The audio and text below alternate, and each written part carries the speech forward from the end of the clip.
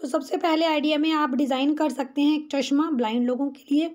इस चश्मे में आप वेरियस सेंसर लगा सकते हैं, जैसे आग को डिटेक्ट करने वाला सेंसर पानी को डिटेक्ट करने वाला सेंसर और किसी भी ऑब्स्टेकल को डिटेक्ट करने वाला सेंसर आप दूरी अपने अनुसार सेट कर सकते हैं, जैसे वन मीटर तो ऐसा चश्मा दूसरा आइडिया रहेगा।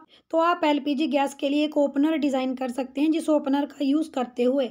इसके कैप को खोलना आसान है। आप जो एलपीजी गैस है, उसमें एक अलर्ट लगा सकते हैं, जो सायरन बजाए अगर हमारी गैस में लीकेज होती है।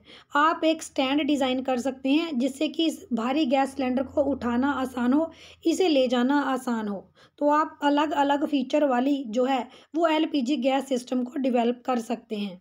मॉडल आइडिया रहेगा पैडी रिफिलिंग मशीन जो हमारे बीज हैं, इनको भरना बोरियों में आसान नहीं। तो आप इन बीजों को भरने के लिए एक मशीन डिज़ाइन कर सकते हैं, जिसका यूज़ करते हुए बोरियों में अनाज को भरना आसान हो।